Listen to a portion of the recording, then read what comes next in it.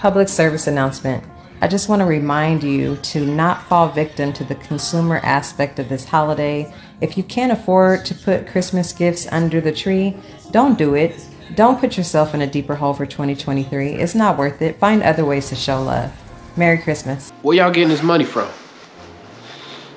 Where y'all getting this money from But these these Christmas presents?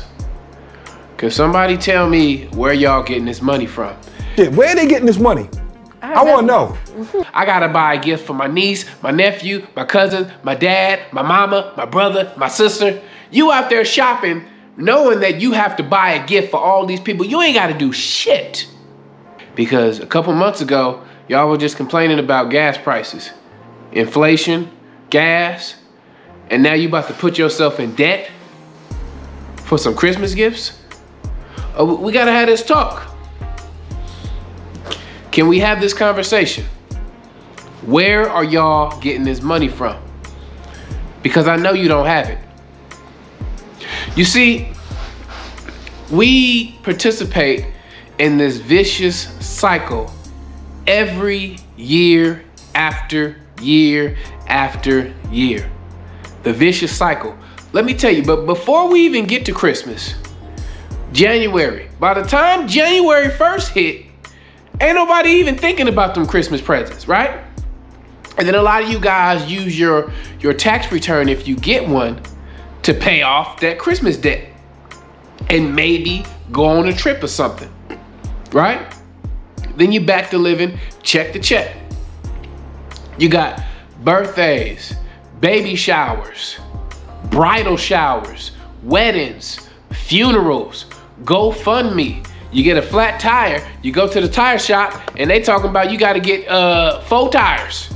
Matter of fact, somebody listening to this video right now, somebody know damn good and well they riding on some bald tires. You out there buying Christmas presents knowing damn well you need to put some new tires on that car. Come on now, stop playing with me. Stop playing with me. You buying Christmas presents and you out here driving in the winter on some bald tires. Come on now, stop playing. Stop playing. Black people can't afford Christmas, and, and most white people can't either. You can't buy a TV with white privilege. I'm sorry. That works. It works in a lot of ways. White privilege works in a lot of ways, but you can't use it when it's time to check out at the cash register. Amazon don't accept white privilege. Most white people can't afford Christmas, and most black people can't afford Christmas. Stop playing with me. I know.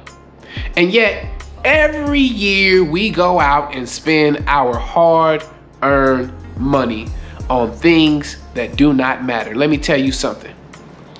Spending time with your family, your friends, your loved ones should not come at the expense of your financial wellness. Can we can we have this conversation? Spending time with your loved ones should not come at the expense of your financial wellness. If you are already in debt with bad credit and you out there trying to buy some gifts, let me tell you something. You ain't doing nothing but hurting yourself. Nobody cares, right? If you don't have the confidence or the ability to let your people know, hey, I ain't got it. This year, I ain't got it. If you can't tell your people you ain't got it, then, then I'm not even gonna call you an adult. Because everybody wants to be a grown ass person. Everybody wants to be a boss. But you can't even tell somebody what you're not going to do with your money. I am not going to buy y'all anything. Matter of fact, I've been buying my son stuff all year. I, I, I buy my son stuff 12 months out of the year. Anything he wants. He doesn't really ask for much. My son lives an amazing life. Let me tell you something. My son's life compared to mine, when we got presents, our presents were donated by Children's Hospital because my mama couldn't afford it. I also got the best presents from uh, my great cousin.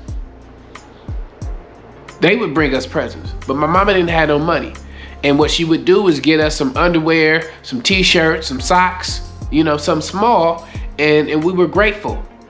But a lot of you when you were younger, you watched your parents struggle to get you something.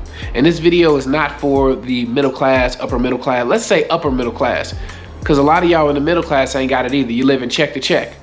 You live in check to check. I'm gonna tell you. I'm gonna tell you right now. Somebody uh, messaged me on Instagram saying that they just got fired from their job and they wanted to know if I could refer them to a contractor.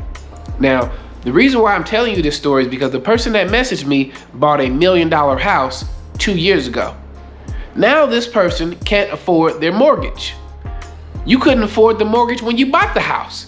If you need your job to afford it, then you really can't afford it. Asking me for help, talking about do I know any contractors so that they can turn their property into a uh, you know revenue generating. They wanted to turn their garage into an ADU, some stuff like that. I said it's gonna cost you about two hundred thousand to do that, and she only had fifty, but she got a million dollar house. Come on now. People are always buying more than they can afford. Act your wage. Act your wage. Repeat after me. Act your wage. I will I wish somebody would get in these comments and call me broke. Let me tell you something. I retired at the age of 37, walked away from a very rewarding career. Don't tell me nothing about no money. I, I, I, I sit here and I and I and I give you that information because when you make money, the goal should be to keep it, not give it away. Right? You want to keep your money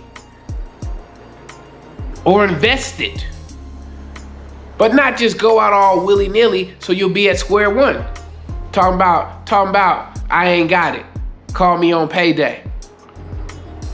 Stop buying these presents, y'all, on the real, on gang. Save your money. And I'm not coming, I'm, I'm coming from a place of love.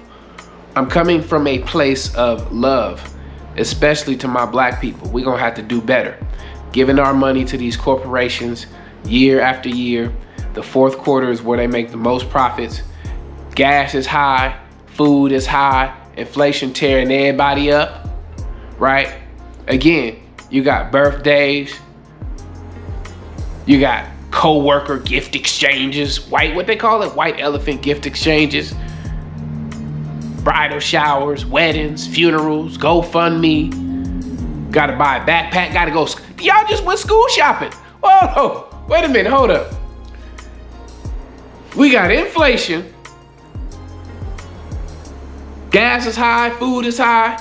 Y'all just went school shopping in February, in uh, September. Where y'all getting this money from? Where are y'all getting this money from?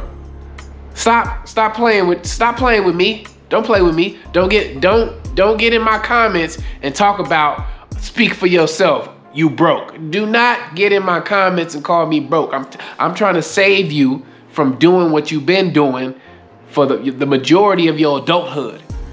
Going out there buying all the presents. Let me tell you something. I'm gonna wrap this up. I'm gonna wrap this up. But if you are one of those people who is shopping for gifts for family members and dreading doing it, trying to figure out, damn, I gotta buy a gift for my niece, my nephew, my cousin, my dad, my mama, my brother, my sister. You out there shopping, knowing that you have to buy a gift for all these people. You ain't gotta do shit. Tell your family members you ain't got it. And I guarantee you they will not respond with, go figure out a way to get it. Because most of us, most of us in the United States of America, all races and ethnic groups, all of us, most of us are living check to check. You can't, you cannot lie to me. The data speaks for itself. You can lie to yourself, but you can't lie to me. You live in check to check, and you need to stack your money. This is PBM vegetables and junk food. Stop wasting your money on them goddamn holidays. Talking about blessings. Talking about the Lord bless me with a good Christmas. Talking about I'm gonna pick up some extra shifts so I can go buy some presents. Stop playing with me. PBM vegetables and junk food. I'll see you on the next one. Christmas is canceled. Goodbye.